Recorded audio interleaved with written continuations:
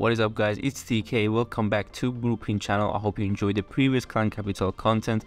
But on today's video, I'm to showcase you how you can two-shot the Dragon Cliff. And on this video, I'm actually to bring you default version of the Dragon Cliff base, so like a normal one. And then the next attack would be a very bad design of the Dragon Cliff because sometimes you might face them and this way you can easily two-shot it. And also on the third version i'm gonna showcase you a normal build dragon cliff. So we're gonna jump into these attacks without further ado but don't forget to subscribe and like the video if you enjoyed this content and let's go. Alright guys we're here on the dragon cliff and this is our army. So what you want to do with these mass lightnings you might know already but for the people that don't, we're going to take out the dragon post that are really further into the base. This is that default base, by the way. And I like to take some normal dragons, like the super dragons, of course, but normal in Clan Capital, and then Inferno dragons to snuff them out. But you need to make sure you have the right calculation for the amount of Inferno dragons you're going to have. Now, you can see already I'm damaging that dragon also with the lightnings and I'm trying to damage that air defense as well. Just try to do, you know, these little stuff. It could be nice. But don't forget, guys, this was a really good and high level Dragon Cliff. So that Dragon Post was level 5 and it didn't go down with two uh, zaps or lightnings or whatever you want to call it. Now, I'm, you know, pulling those dragons, but at the same time, I'm clearing this area. Some people I've seen, they clear this area first and then they go lightnings. That's guys is going to cost you so much time and time is an issue with the dragon cliff if you're going to two shot it. Now putting the dragons with one giant is the best value because the giant is slow and it can really easily pull them as much as possible and it has the hp to tank for a dragon so your inferno dragon can kill it. Now you could use one super dragon to do the same thing when the dragons are here. If there is let's say three or four dragons at the same time you're trying to take out. If you use a super dragon, that is a good value. Now, I have some minions just in case we need to take some stuff out that, for example, they're not targeting air. One rocket balloon for that air defense just so my super dragon can get more value because I don't want it to die like that fast. Again, this is the type of dragon post you don't need to lightning or you don't need to waste archers to get it because we can easily take it out with a super dragon and those um well inferno dragons now this is what i meant by calculation. This is wrong. I had three inferno dragons but the dragons already were dead so i could have taken let's say so many more archers to take out a blast bow or a bomb tower. These are the important defenses for your second attack because we're going to use the hog raiders or hog riders in this case. But the second attack is going to be interesting one so let's go all right we're here on the second attack and we have four more lightnings for the uh, you know the remaining dragon post you remembered one of them was one shot. Because it was a max level you can take it out with two and the other one still goes down with two or three in case it's not max but i'm dropping it on the dragon itself. So keep that in mind just to damage the dragon and then we're to pull it with a ram it would be nice if I would have taken a giant. I think it would come a lot more, but because there is no damage in this area, the barbarians of the ram can also pull this. Now, I have one super dragon again and two inferno dragons because there is two super dragons that are defending this space and they are left one more minion on the corner and this is what I mean already 30 seconds inside this attack and we haven't basically done anything okay? Drop the super dragons to tank and then drop those two inferno dragons to take out the dragon posts like um, I mean the enemy dragons that's better. But this is the important part. Now you want to have two groups of hogs. Don't go with exactly spamming all the hogs in the same area because they still have two bomb towers and also a blast bow and this is what I meant. If I would have taken that blast bow or the bomb tower out it would be a lot a lot more easier. And this is just experience for you to next time when you're trying this out make sure you calculate those inferno dragons. But now heal spell use it on that you know hog raiders that are inside the main damage area but you can see already the hogs going separate ways can deal so much more damage. And you can see already that one group of hog that went for that bomb tower they're going to go really low on hp but because we have another group on the top side they are going to be having a nice little you know time there and not die. So this is coming so close because we have one wizard tower, but don't forget the wizard tower with the point defenses can be really devastating sometimes on the, for example, few hogs left in the base. But the second group of the hogs that I mentioned are coming to help, and this is getting so close, guys. And that's really coming back to that one, you know, mistake I made at the beginning.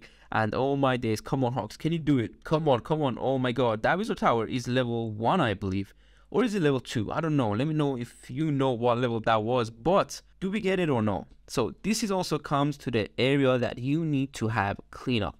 Another point of you know the Dragon Cliff, as I mentioned, is the cleanup and for example the time uh, you need to calculate these stuff really nicely on your first attack the most important part i could have bring more rams and the ram can easily just destroy the war and the barbarians can clean up. You don't need more let's say minions there are more space. You can easily just manage the space right here. And this is going to be i think a time fill because we're not going to have enough time to get all this with two hogs left. But this was the way you can hit that default version of the Dragon Cliff. And by the way, this was a really nicely upgraded version of it because some of the Dragon Post was level 5. A lot of the clans don't have that and the level 4 will actually hold you a few zap spells to, you know, you can take a heal on the next attack like I did. Alright guys, we are on the next attack and this is a Dragon Cliff level 5 but take a look at this. That is insane. And by the way, this is the maxed uh, Dragon Post. So we need to use three zaps on it again. One zap on the top side. These guys don't still have one dragon. So that's one dragon list for us to deal with. But just the fact that they upgraded their Dragon Post means they know what this zap method is, but they just haven't had a good base. You know, why won't you put a good base for it? And by the way, talking about bases, make sure you check out the Blueprint website if you need any bases for this clan capital. And now, again, Giant with that one Inferno Dragon and, you know, just Barbarians to tank just a few seconds. And this is why I love the Super Dragon. Take a look at how much splash it can do you can see the damage of these dragons going down. That is like the points that I want to mention on this video more mostly, but we're going to show you how you can 3 star this, but never be greedy because even if you take out a lot of those dragons and even all of it like I'm doing right now, there's still so much base left guys, so much but it's just about the fact that it doesn't have as many splash damage as the other district but it still has you know two bomb towers it still has two or three wizard towers you can see and we're trying to get the best value with the first attack but it doesn't matter if you don't get too many defenses because the first attack is mainly for those dragons. We still managed to get a decent percent 47 percent. That's near half the base in the first attack. And let's go to the next one and see what I exactly do there because it's going to be a hog method as well. But it's mainly this way. It's just because the way it's designed you can go with a spammy method Okay, we are here with 15 hogs and some cleanup this time. I have learned my lesson, okay? But just always take some cleanup. And we're going again, kind of a different group setups, just in case there's a giant bomb or bombs. You can see already one bomb. But just in case, okay, you can see sometimes the hogs will collapse together like right now, but you have two heal spells really nicely because you took out a lot of the dragons at the beginning. If you haven't taken out a dragon like the first attack, you can always take one heal spell. It's way better than a graveyard spell, trust me, because it gives you so much more value on top of those bomb towers that are really devastating. Some hogs on the lower side can distract and take out that bomb tower. So my main group doesn't have to go deal with the other one. These are the important things you need to notice on attacking the Dragon Cliff. And on the next replay, you're actually going to see how important it is to be calculated to take exactly the amount of troops you need and I haven't done that. I'm gonna spoil it for you, okay? We're gonna go to the next hit and see what I did there.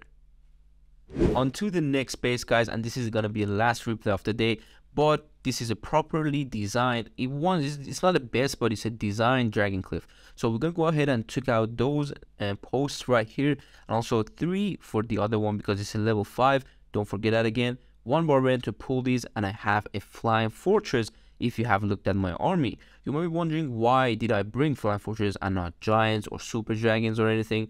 It's really simple because this time I really wanted to move on with the time and deal some damage. I have some archers just to take out the dragon post on this side. As you are seeing let the dragon go on the other side of it so archers can target it. And also there's a bomb tower on the left hand side so we're going to take that out with the archers as well because it's just nice value. And now this flying fortress it's so good value because it can you know destroy those two splash damage at the beginning and it's not going to go down and it's going to keep on destroying the buildings meanwhile pulling the dragon. So that's saving time. This is another tip saving time again. But make sure those dragons come quite close and then drop the inferno dragons because if they're not quite close as you saw from the other dragon they're going to target your inferno dragons. Now one more for the other one. There's two more Inferno and um, super dragons. Sorry here there's so many dragons now but that flying fortress is doing amazing job and once it dies it's actually going to you know drop some skellies that if in that area there is no splash damage Guys, trust me, those skellies are no joke. Look how fast they just went through that wall. And they're going to take out quite nice stuff. Now, one more Inferno Dragon for that. And this is again come to the calculation. I could have had, you know, a group of Hog Raiders maybe. And for example, Arch Archers or something. Or a Rocket Loon even to take out that Inferno Dragon. But let's go to the next attack and see what I did. Okay, we're to go ahead and Lightning that dragon right here. I just used four just to damage it because I couldn't take any more spells one giant this time because there is no point defenses on this area and there is always like you can see already three of those air targeting um defenses right here. And again pull the dragons as much as possible. This is where i'm wasting again time. Don't forget it's all about time guys. You need to manage it nicely. So i could have dropped that giant way like earlier. So when the other one was gonna die that dragon would have targeted nicely now, Wallbreaker, and then just to distract it a bit more, Inferno Dragons, and that dragon will go down. I have another heal spell again for the second attack. It's important, guys, because a heal can really help you. Now, you can see already going in with different group of hogs, just in case of those you can see Zap Traps or Tesla, and I'm saying Tesla, sorry, the bomb towers and heal wherever it's needed guys. You can see already i'm healing on the wizard tower because that's where the bomb tower will also do the splash and that's where the all the splash of this base is in that area. Log trap goes off. Don't forget the log trap is actually quite annoying for the hogs because with the combination of the you know the giant bomb and also the bomb tower it can really just kill your hogs max level hogs. It can go down and for this method guys you need good level hogs. But you can see the different group of hogs they're doing amazing job. And then when they come together it's really great. But it was a lot of hogs i think. You can see we have so many but we have no cleanup. Another tip for that don't take too many hogs and don't be greedy for it. Because normal like for example if i would have take two less hogs it it might still work. But you know this one uh, i don't know. I don't know man one minute, can we take these buildings out? I don't know. At one minute, we need to watch these hogs going around. This is crazy, but I don't think it's possible because they are going to the same area, guys. Or, for example, sometimes if you took the hogs, don't drop them all together. Like, not in the same area. I mean, don't drop all your troops. That's basically what I mean. So once the defenses go down, you can go ahead and drop your hogs now, for example, right now to the 9 o'clock area and get that one out the way. Now, these are the tips that I actually learned for myself in these attacks. So I got the experience for it and I wanted to share it with you so you can also use it and next time you can show your friends that you can, you know, easily two-shot this Dragon Cliff. But it's all about that calculation, guys. On your first attack, it's super important and this replay showed you on your second attack calculation is really important as well. You need to be pinpoint with the you know drops of your troops and also with what troops you take. Okay, so I hope you enjoyed this video overall. If you did, make sure you drop a like, subscribe to the channel, and I hope you learned something new today about Dragon Cliff. And I hope I see you soon on the next one. Don't forget to use code blue as always. Peace.